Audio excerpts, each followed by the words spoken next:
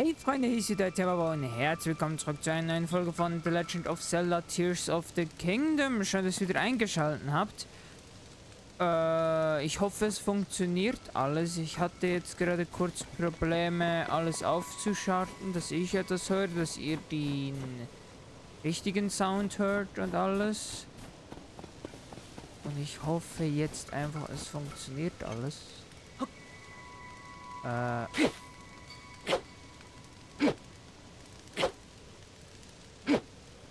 Das sollte gehen. Ich bete jetzt einfach darum, dass es funktioniert. Und das Ding hier... Wir nehmen jetzt einfach mal mit.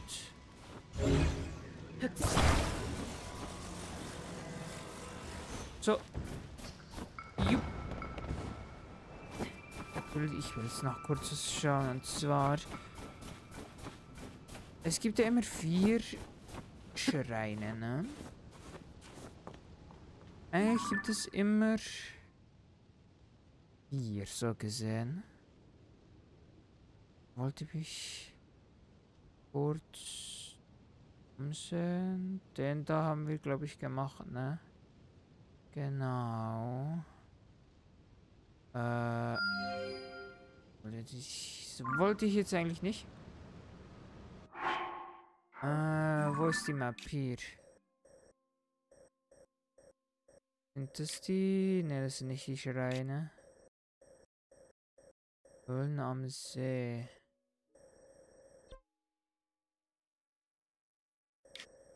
So Schrein. Den Schrein haben wir auch gemacht. Den haben wir auch gemacht. Frage ist jetzt, gibt es noch einen vierten? Oder gibt es keinen mehr?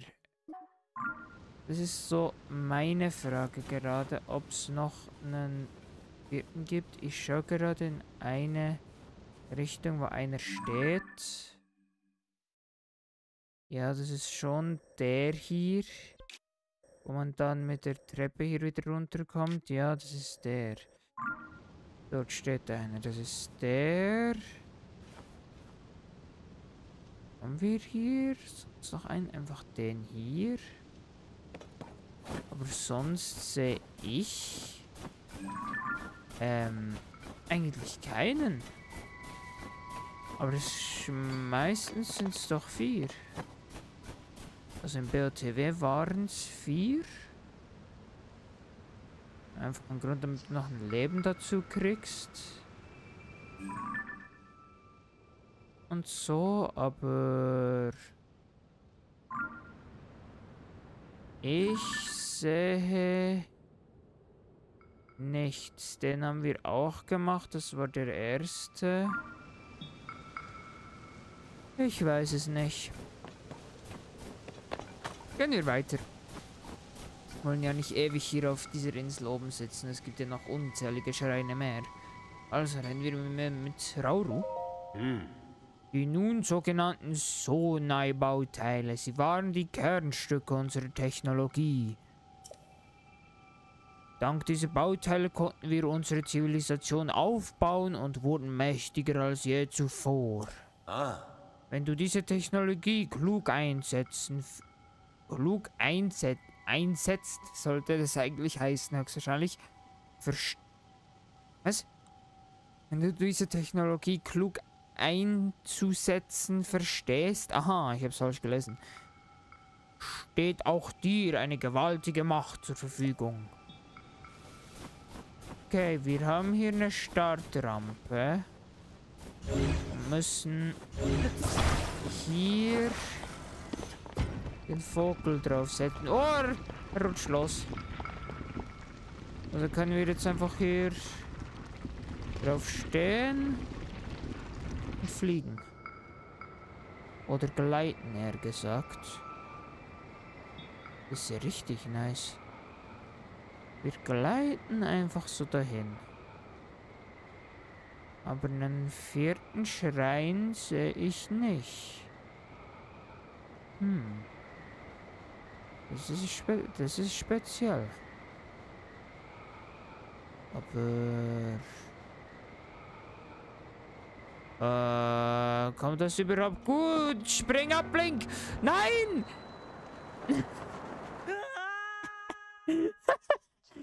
nee, nicht dein Ernst, oder? Oh mein Gott. Und wir liegen wieder hier. Ja. Das ging schief. Dann machen wir nochmal eine Flugpartie. Der ist, glaube ich, sogar auch besser ausgerichtet. Sollte mich nicht so blenden lassen. Dem richtigen Moment abspringen. Aber es ist halt schon sehr nice, wie das da aussieht. Keine Ahnung, was das da drüben ist. Fliegen wir mal weiter. Und... Ja, komm. Besten hier abspringen. Besser jetzt als nie! Uff.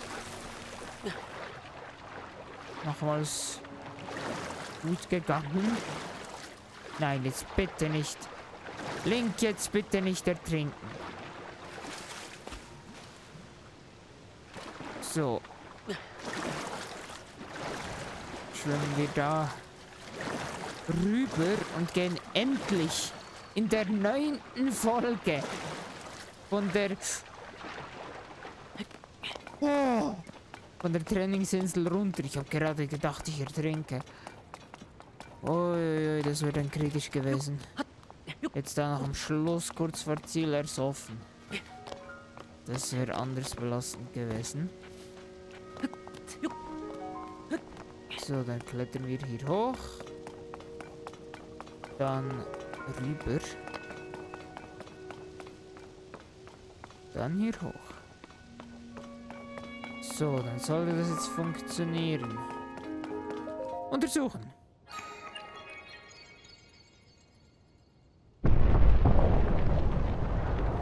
Yes, das Ding öffnet sich. Perfekt. Wir können endlich weiter. Die verschloss... Die verschlossene PO... Ich kann das nicht lesen. Okay, das sieht sehr spannend aus. Was ist dies?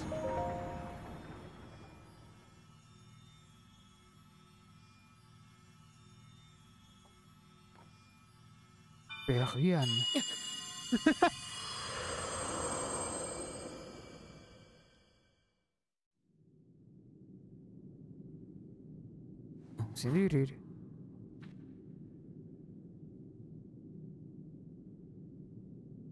Oh, Zelda.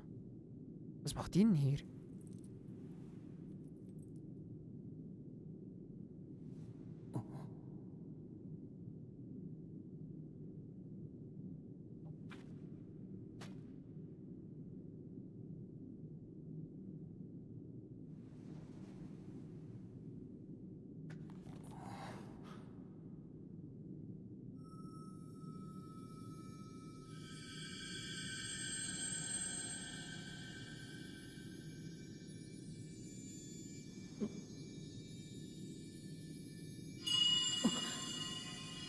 War das gerade das vierte Licht, das wir gebraucht haben?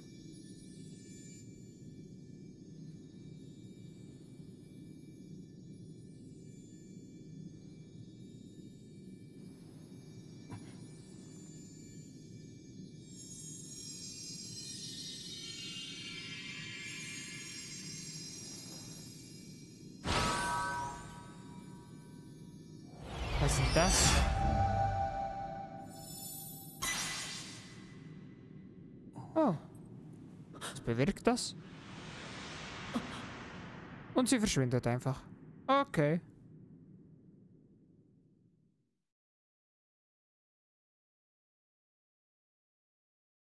Bin ein bisschen verwirrt.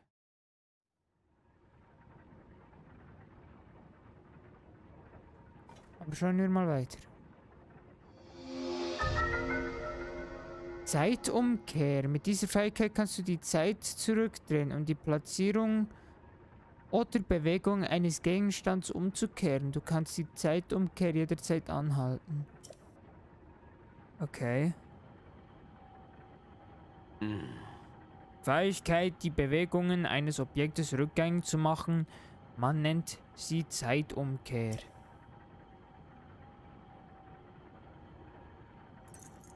Und Zelda ist verschwunden. Hm.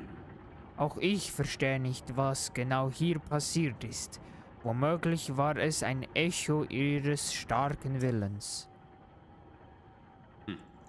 Aber ich bin mir sicher, dass du diese Fähigkeit nicht ohne Grund erhalten hast.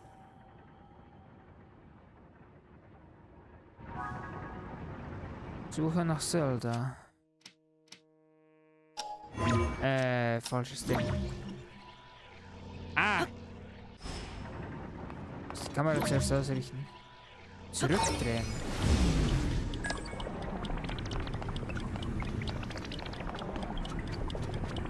Ah, jetzt kann ich hier hoch. Dann darüber.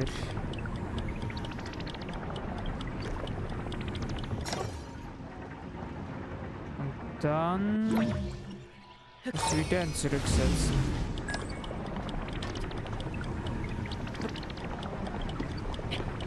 Äpp.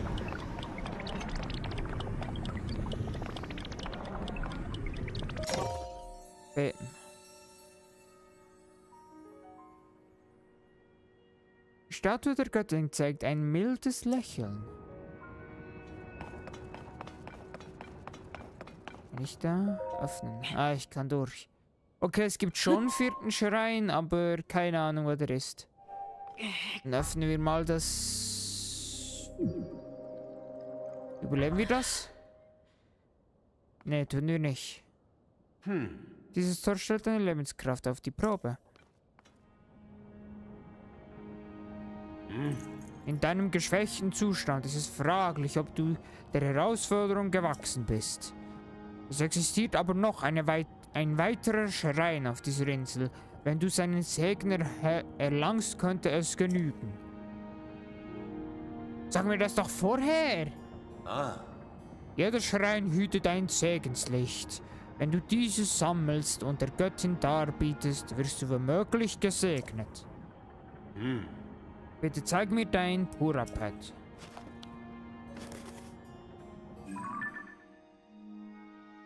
Das Purapet verfügt über eine Teleportationsfunktion.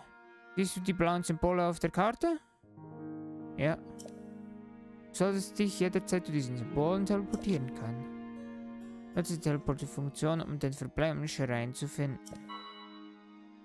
Ah, okay, der Drecksack steht dort.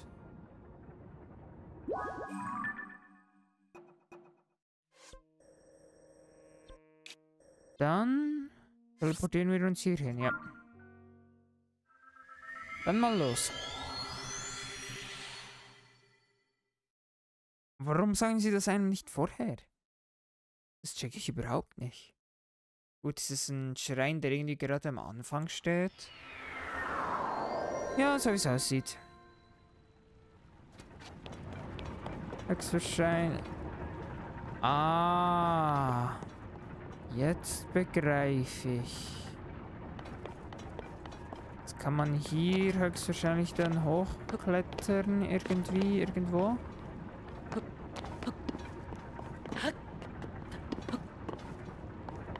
Wie sollte man nachher hier, hier hochklettern können?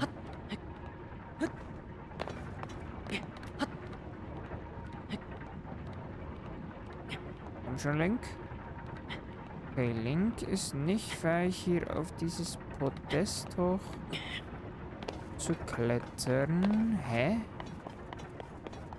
Wie soll man denn darüber kommen?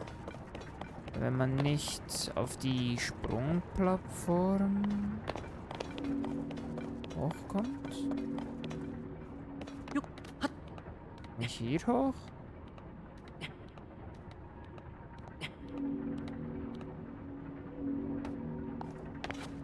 Nee, tue ich auch nicht. Hä? Meine Güte.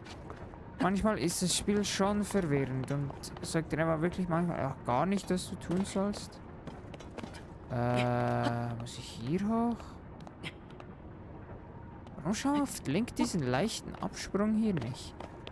Äh, wie soll man denn das machen? Ist die hier? Nee. Uh, wie soll ich denn darüber kommen, wenn ich da nicht mal hochklettern kann? Dann nehme ich mal... Hm. Bin schon wieder im Wasser gelandet. Ich kann ja nicht mal... Gut, vielleicht könnte ich hier rüber springen. Drehen wir das mal zurück. Spring dann da rüber. Okay, nee, geht nicht. Das ist zu weit entfernt, da kommt man nicht rüber. Wie soll man denn das schaffen? Und so etwas voll verwirrt. Weil der Schrein ist ja... Oder ist der Schrein da drüben? Ah, ich habe doch keine Ahnung. Ich möchte eigentlich da rüber, aber wie will man da hochkommen? Es ist so belastend. Oder ich bin einfach zu dämlich, aber... Das bezweifle ich sehr stark. Ich zu blöd für diese Aufgabe bin, aber... Wie soll man denn da hochkommen, wenn man nicht hochklettern kann? Und nicht rüberspringen kann? Dann müsste auf diese Plattform hier hoch. Da hoch müsste man. Oh mein... Okay. Okay. Ja, ich bin manchmal ein bisschen neben der Spur. Nee, ich... Hm. Oder nicht zurück. Ah, manchmal ist es einfach wirklich einfacher, als man denkt. Aber ich denke ich denk natürlich zu weit. So, jetzt kurz warten. Dann hier rüber. Hier hoch. Komm schon, Link. Gib Gas, gib Gas, Link. Hopp. Wir haben nicht mehr viel Zeit. Yes, wir sind drüben. Mal wieder die Farbe zurück ins Bild. Dann rennen wir mal hier durch.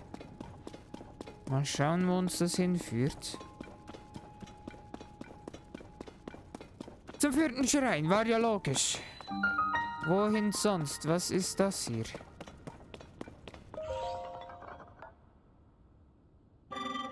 Dies ist eine Batteriemaschine. Wenn ich Zuta Zusatzbatterien für dich herstellen soll, gib mir Sonau Energiekristalle. Ja, das möchte ich. Zur Produktion werden mindestens 100 Sonai Energiekristalle benötigt. Kehre zurück, wenn du über die erforderliche Anzahl verfügst. Ein Hinweis zum Sonanium, das benötigt wird, um Sonai Energiekristalle zu gewinnen. Die Vorräte dieser Insel sind nahezu erschöpft. Vermutlich reichen sie nicht für den Bau einer einzigen Zusatzbatterie. Falls du mehr willst, musst du in fernen Tiefen des Landes suchen, wo Sananium einst auch abgebaut wurde. Okay. Okay, dann gehen wir jetzt in einen geheimen Schrein rein. Machen wir den noch kurz. Meine Güte, war das wieder eine Arbeit, hier hinzukommen. Oh, der ist ja richtig widerlich, der Schrein. Dass er hier ist. Und man wirklich nochmal zurück muss. Oh mein Gott. Umkehr. Ja, jetzt wird das Umkehrding noch. Ah! Ja. Gut, dann müssen wir es so machen. Haben wir noch gerade... Ja, aber ich war zu früh. So, jetzt umkehren. Wir springen jetzt hier hoch. Ist darüber. Springen hier hoch.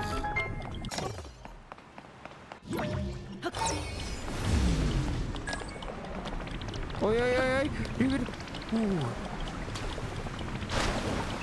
Uh. Okay. Das ist funny. So, geschafft. Dann drehen wir hier noch das Zahnrad, Zahnrad kurz um. Springen hier noch gerade drauf. Boah, das war knapp. Holen uns hier die Kiste. Zack. Holzpfeile. Wow. Holzpfeile. Das hat mir ja jetzt gerade wirklich sehr viel gebracht.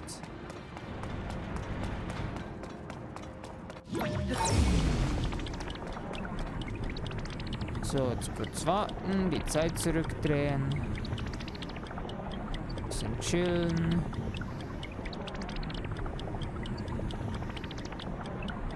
Geht das Tor auch einmal noch auf?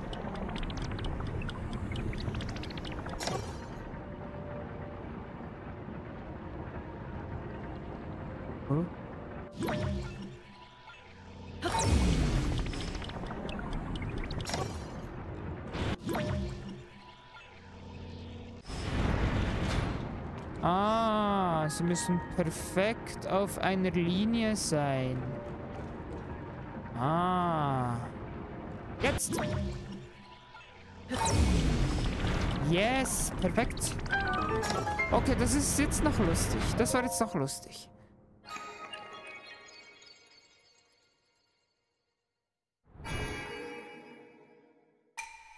O Besucher dieses Bannschreins, der das uralte Böse versiegelt. Sei gelobt dafür, es bisher hierher geschafft zu haben. Nun soll das reinigende Licht dich erfüllen, welches an diesem Orte ruht.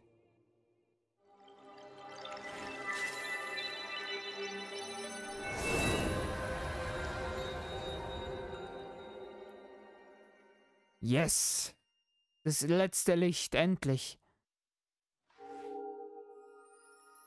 Perfekt.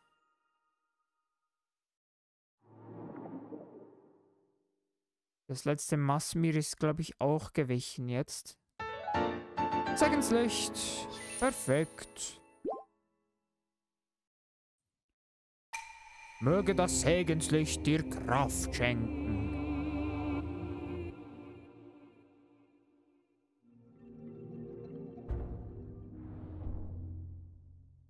Perfekt. Letzter Scherein auch noch abgeschlossen.